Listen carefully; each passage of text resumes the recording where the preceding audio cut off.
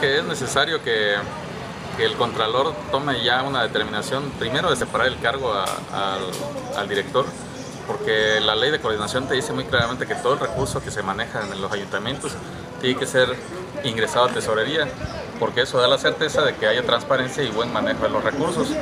Esta situación está muy rara de lo que está sucediendo en este robo o lo, o lo que parece y, y piensa mucha gente que hasta sea un autorrobo yo creo que tiene que iniciarse ya la investigación urgentemente. ¿Dónde está el recurso que se invirtió en seguridad privada, las cámaras que, que cómo se llama, que están pagadas allá por un proveedor incómodo que no están dando resultado?